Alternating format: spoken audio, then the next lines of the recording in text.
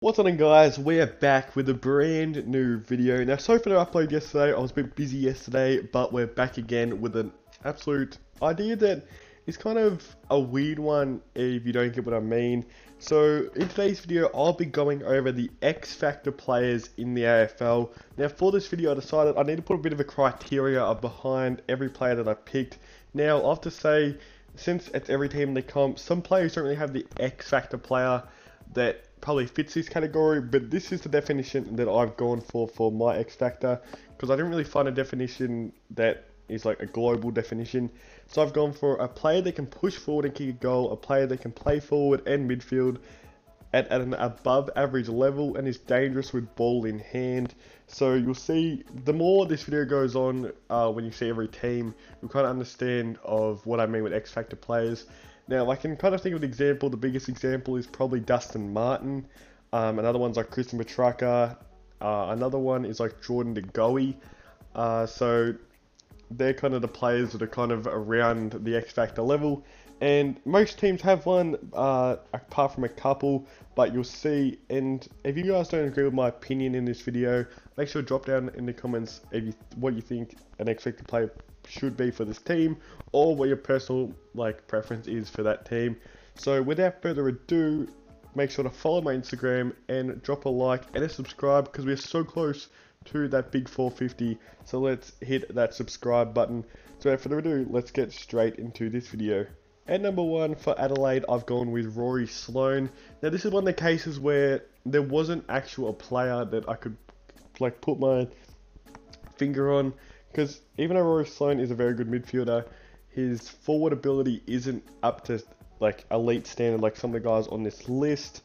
Um, but he at times he's shown his X factor. He's one of the one of the midfielders that can actually push forward and kick a goal, which kind of does fit this category. So that's why I've gone for Rory Sloane. Next up is Brisbane, and I've gone with Cam Rayner. Now, Cam Rayner, even though he, he's shown it at times, you can see that he's building into a player like Chris Petracca. Chris Petracca only had his breakout year back half of last year after getting drafted in 2014. So even though Cam Rayner was only drafted in 2016, this could be the year that he finally turns it on. Next up for Carlton, I've gone with Jack Martin. Now, Jack Martin, coming over from Gold Coast last year, and you can see this man has X Factor. The one game he really looked at is the game against Richmond, where he kicked four goals in uh, the second half. And at times, he's he's been thrown to the midfield, and he's one of the players when he grabs the ball, something happens, which very, very well does fit this cat does fill this category out perfectly. For Collingwood, I've gone with Jordan De Goey. Now, this is one of the most prime examples of an X Factor player. Uh, he's an elite forward at times. He probably needs a bit more consistency to his game. Uh, and then when he goes into the midfield, he seems to make an impact every single time he goes in there. He's a clearance monster when he goes in there. And I expect him with the the removal of Adam Treloar in that midfield to him to have a big year in the midfield if they decide to play him there because he definitely shown some elite capabilities. Next up for Essendon, I've gone with Jake Stringer. Now, Stringer at times has lacked his fitness levels but he's been an All-Australian forward before. Uh, in times in 2020, he did get thrown into the midfield, and every like when they need a clearance, they chuck him in there, and he gets it because he's just a dangerous player like that. He has ability to play midfield. The only thing that really holds him from being a full-time midfielder is that he's so good forward, and also his fitness levels at times. He's not. He doesn't really that, that good of a tank to be able to run all day in the midfield, which is why he's probably a forward because he definitely shown capabilities. Now next up for Fremantle, I've gone with Nat Fyfe. Now this is another primary example of an X-Factor player. His ability to push forward and kick goals. In 2020, he was mostly a forward, playing about like 60-40 uh, in forward and midfield.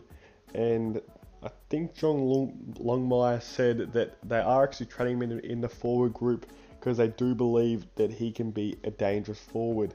Who knows? Could be a Coleman medal coming up for this man because he can do everything. The next up for Geelong, I've gone with Patrick Dangerfield. Now, he's another guy that did play a lot of forward in 2020, but we know that he won a Brownlow in the midfield.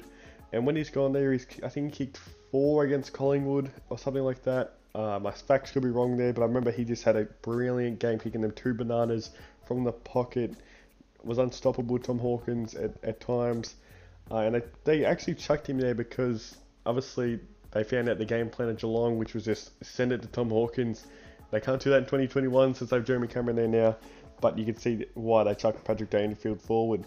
Now, next up for Gold Coast, I've gone with Izak Rankine. Now, I originally was thinking about chucking Sam Flanders there, but he hasn't really shown his capabilities yet since he's only played like three games.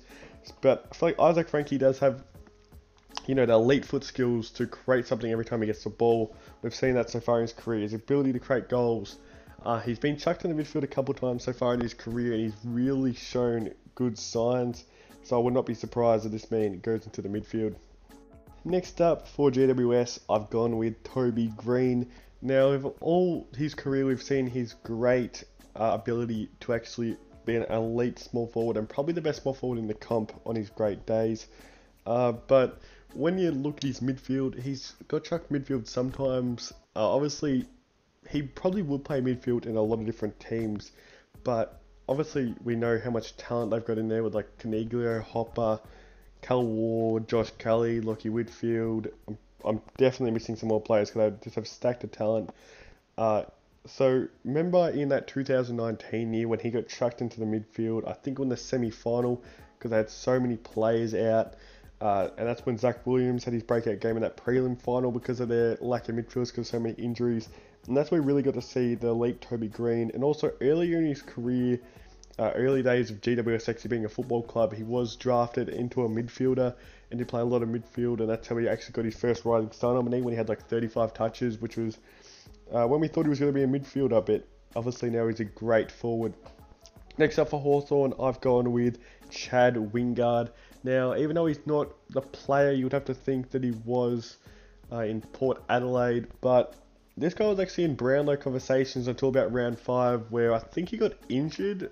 I could be completely wrong there, but I remember something happened to him and then it kind of threw off. But he has shown elite levels of midfield play. We all know how good he is forward. It he's won a Mark of the Year forward. He's kicked a lot of goals forward when he was at Port Adelaide. Uh, but now at Hawthorn, he's starting to get a little bit more. He's starting to get some midfield time under his belt, and he's definitely elite. He's a great kick of the football. Um, every time he gets the ball, something happens. Very, very good.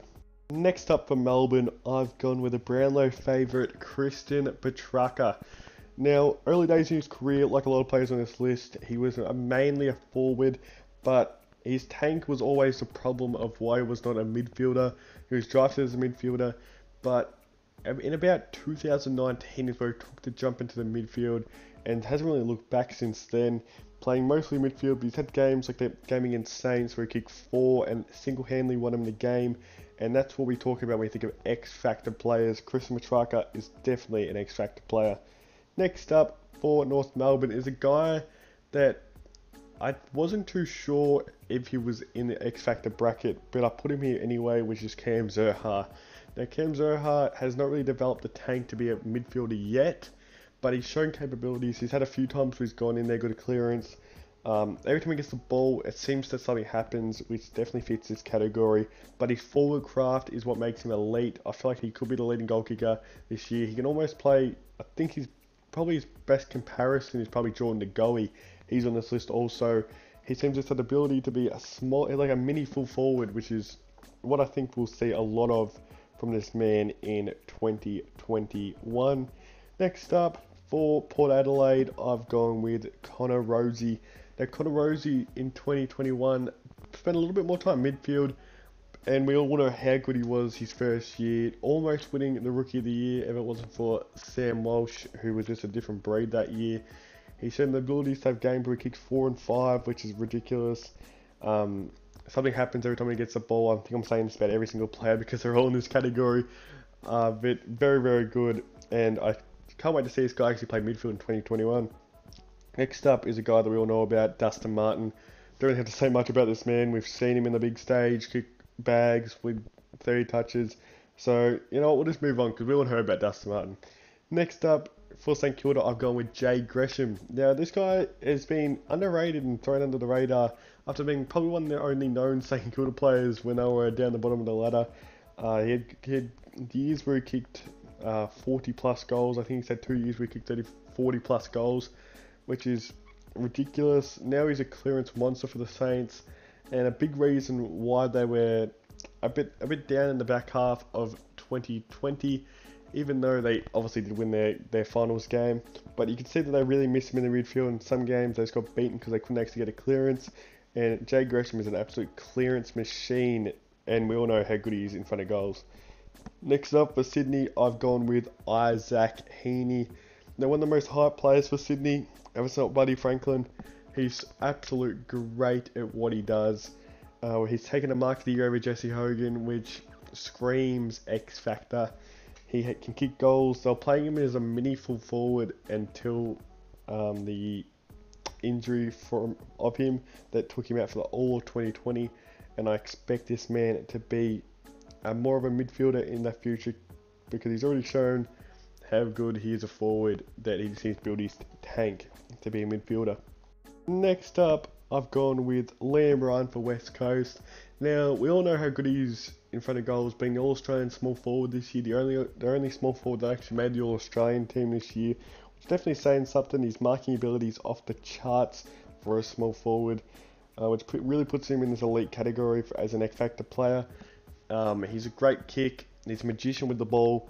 Uh, once he gets a bit more midfield time, which I don't know if he'll ever actually go into a midfielder, but he's had spurts in the midfield uh, when they've needed a guy, but I don't know if he'll ever be a full-time midfield. He doesn't quite fit the, fit this X Factor category, but I feel like if there's any West Coast player, it's probably him. Um, I was thinking about putting Dom Sheed in here, but I feel like that Liam Ryan is definitely the X Factor player for West Coast. Now, last on this list is for the Western Bulldogs, Marcus Bontempelli. Now, I expect this man to play a lot of forward in 2021, being about the only midfielder for Western Bulldogs that can actually kick goals, apart from maybe Josh Dunkley.